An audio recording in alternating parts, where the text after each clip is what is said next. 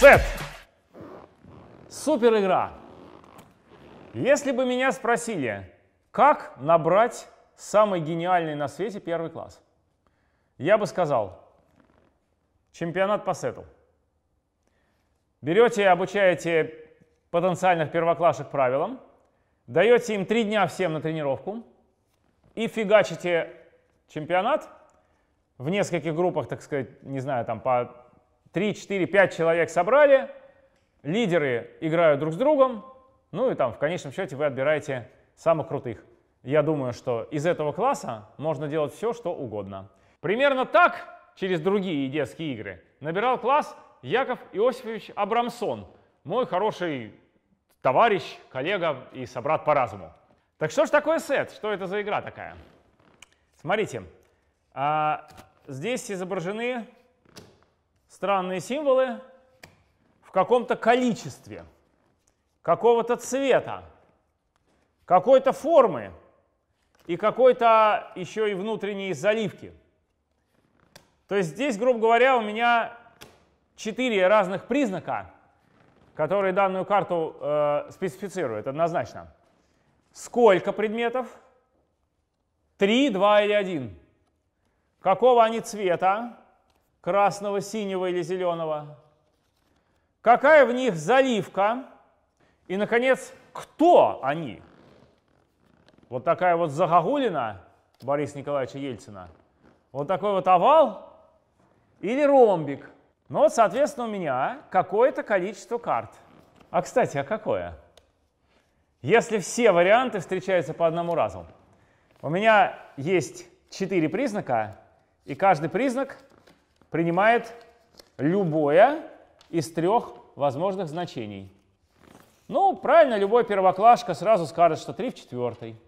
3 умножить на 3 умножить на 3 умножить на 3. И в самом деле, если выложить пустые карточки, которые запасные, в каждом сете ровно 81 карта. Как-то мы облажались, я говорю, сейчас мы посчитаем, будет 81 карта. Стал вот этими картинками считать, а их 83. Надо мной давай все ржать.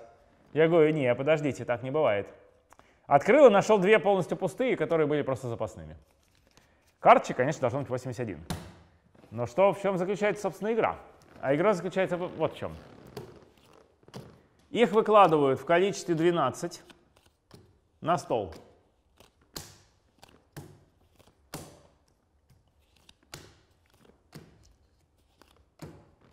Несколько человек одновременно смотрят на этот стол и ищут комбинацию, которая и называется сет.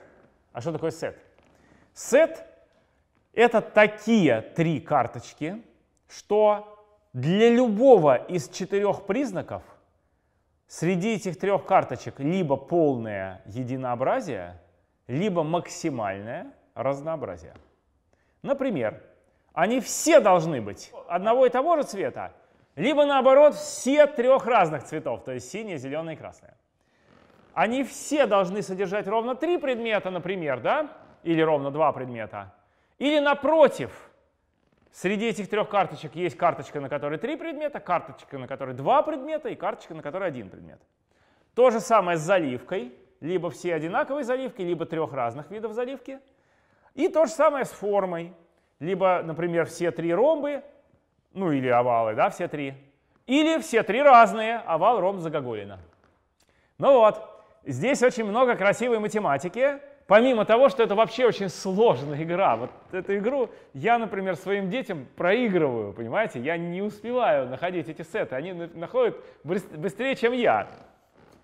То есть вы пытаетесь как-то вот искать, так, как бы это, как бы это, блин, как вот это, это, это, это, одного цвета, но, блин, вот заливка разная, да, да и форма тоже разная. Так, да, да и, и количество разное. Так, а вот это, так, как, есть здесь сет вообще или нет? Вот я беру вот эти, например, три. Это сет или нет? Это не сет, потому что два овала и одна загогулина. Есть хотя бы один признак, по которому уже неполное единообразие и неполное разнообразие. То есть два одного типа и один другого. Все, значит, уже не сет. Ну вот ищу, ищу, ищу. Ну вот к стыду своему я здесь в данный момент сета не вижу, хотя, скорее всего, он есть, но я буду долго смотреть, я плохо в нее играю. А, самые сложные для отслеживания сеты — это сеты, которые выглядят так. Все три признака разные, я все-таки нашел. А, смотрите, какой сет. Все четыре признака разные. У нас все цвета разные, все заливки разные, все формы разные и все количества разные. Вот это такой, значит, сет триумф. А, по каждому признаку полное разнообразие. И я его себе забираю как взятку. Я нашел сет, отлично. Тогда докладывается дальше. И снова все ищут, кто взял взятку, значит берет, опять докладывается и так далее. Бывает так, что среди выдачи вот этих вот 12 карт нет ни одного сета. Так случается. Тогда докладывают еще три карточки. 15. На моем веку я в сет поиграл некоторое количество раз два года назад летом, когда мы на Байкале были со всеми детьми, все хором жили там долго. И мы очень много в нее играли. Я пару раз видел ситуацию, когда на 15 карточках нет ни одного сета. Тогда докладывают еще. Я было предположил, что на 18 карточках уж точно сет должен быть. И даже высказал в свое время гипотезу. Я говорю, М, должно быть 2 в четвертой. У нас 4 признака. Должно быть 2 в четвертой карточек, чтобы э, максимальное количество карточек, при которых может не быть сета. А вот если у нас 2 в четвертой плюс 1, то есть 17, то уже точно будет. И, соответственно, для 18 тоже должно быть точно должно быть. А, мой сын Мишка, которому тогда было 14 лет, сказал, хм, сейчас я подумаю. Я говорю, ладно, я пока пойду прыгну с пирса в Байкал, выкупаюсь. Я пошел Байкал купаться, прыгнул с пирса. Через 5 минут возвращаюсь, он говорит, пап, ты обломись. Короче, даже если мы рассмотрим 27 карточек одного и того же, э, ну, например, э, цвета, да, то есть рассмотрим три признака из четырех, цвет возьмем один и тот же, скажем, все они будут красные, их тогда будет 27. Я уже могу тебе предъявить 9 таких, что, а, что сета в них не будет. Ну а если так, то понятно, что я могу предъявить 18 э, в обычном сете на четырех признаках, сделав 9 красных таких, где сета нет, и 9 зеленых таких, где сета тоже нет, в точности тех же, которые были, только теперь зеленых. Докажите сами, что в такой выдаче сета не будет. Тем самым моя первоначальная гипотеза про а, двовенный, где n это число признаков, ну обычный сет на четырех признаках, но можно рассмотреть сет на трех признаках. Кстати, а вот он. Это сет на трех признаках. Взаимно однозначное соответствие можно сделать. Значит, вот одно, один признак — это ближе ко мне, в середине или дальше, другой признак левее, в центре или правее, и третий признак выше, в центре или ниже. И все карточки будут э, находиться в взаимно однозначном соответствии с, э, со всеми кубиками, маленькими кубиками этого кубика Рубика. Вот, то есть сет на трех признаках — это кубик Рубика, а сет на четырех признаках — да нет, ничего проще, это четырехмерный кубик Рубика, и все. Ну, сами вы с детства занимаетесь, правда, поисками разных фигур в четырехмерном пространстве. Вот загляните туда, соответствующий кубик э, по три вот так разлинованный по всем четырем направлениям и представляет собой комбинацию всех карт сет. Вот, а что же мы там ищем? Это, кстати, отдельный очень интересный вопрос. Видите, такое трехмерное да, пространство с тремя всего координатами, а у этого сета будет четырехмерное. Оказывается, мы ищем прямые. Но прямые надо понимать в определенном э, смысле слова. А нам нужно ввести арифметику, при которой 0, 1, 2, а дальше вместо тройки идет снова 0. Кто-то из э, слушателей этого ролика, наверное, встречал уже у меня Э, в других лекциях конечные поля. Так вот, речь идет о четырехмерном линейном пространстве над полем из трех элементов 0, 1, 2, над полем остатков по модулю 3. Это и есть сет. И мы в этом четырехмерном пространстве ищем афинные прямые. Вот и вся разгадка. Но хорошо играть это вам не даст. Ну, как бы ни, никак не поможет хорошо играть это знание. Однако я возвращаюсь к этому потрясающе сложному вопросу о том, сколько раз я еще должен выложить, чтобы гарантированно найти здесь сет. То есть вот я взял случайные 21 карту. Найду я здесь сет или нет? Ответ. Найду.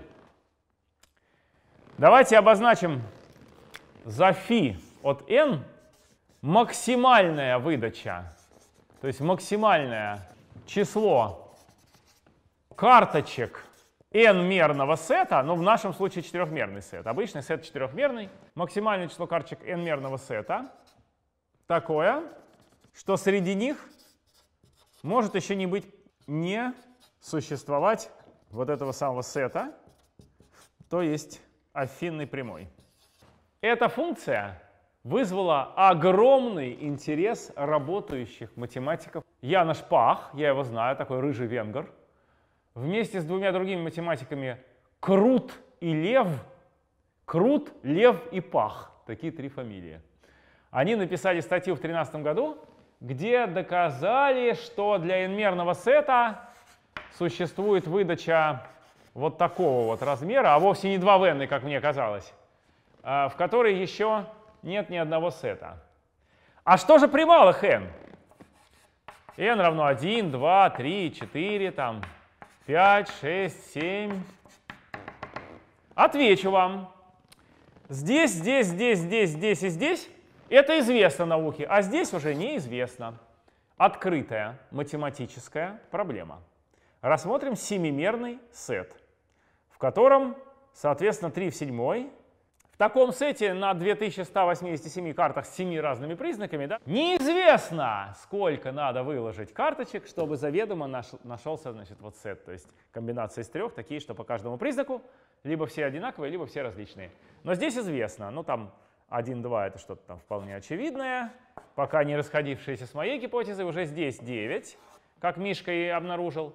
Здесь 20, то есть в обычном сете недаром говорят, выкладывайте до 21 и дальше уже ищите хором. Здесь обязательно должен быть сет. А здесь кажется 45, а здесь кажется 122. Но вот здесь я уже не уверен в ответе, это надо посмотреть в интернете. А вот здесь уже неизвестно. Но, кстати, это было неизвестно год назад. А кто знает, может сейчас уже кто-то и открыл. В общем, это вот ряд чисел, который в асимптотике ведет себя не менее, чем вот так. А конкретно, как он себя ведет, это совершенно непонятно. Вот такая вот замечательная нерешенная математическая задача, которая возникла из простейшей детской игры. А сет здесь вот. И он 2 плюс 2, он такой как бы двупризнаковый. Два признака одинаковые, это количество и цвет. А два признака разные, это заливка и форма. На самом деле, э, еще раз я ошибся, когда я изучал эту игру. Я думал, что больше всего вообще сета, вот сколько всего в принципе прямых в четырехмерном пространстве над полем из трех элементов. Сколько их? То есть сколько, сколько возможных таких вот афинных прямых? Сколько можно разных троек взять, которые каждый из них является сетом? Ну, кладя обратно, да, то есть вот в, в этой тройке, вот это может, например, участвовать тоже. Здесь есть очень э, такая подсказка да, вам, что если я взял две карточки, любые две карточки, то я их одним и только одним способом дополняю до корректного сета. А именно, по каждому признаку я смотрю, одинаковые они или разные. О, здесь это просто, здесь все признаки разные. Значит, соответственно, третья карточка должна быть другого, чем они два цвета, то есть зеленого. Она должна быть не овал и не загогулина, то есть ромб. Она должна быть на ней должно быть не один, а не три, то есть два предмета, и заливка должна быть штрихованная, потому что не такая и не такая.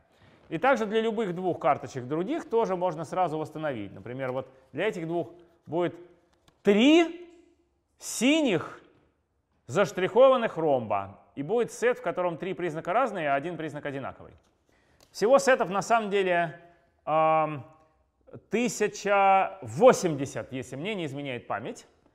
И 10% среди них, а, то есть 108, будут три признака э, совпадать и только по одному различные. Ну, типа там вот, вот этот, вот этот и три таких же, значит, э, красных э, залитых овала. А вот дальше 20, 30 и 40 процентов. 20 процентов будут сеты, которые будут, в которых будет, по-моему, все признаки различные.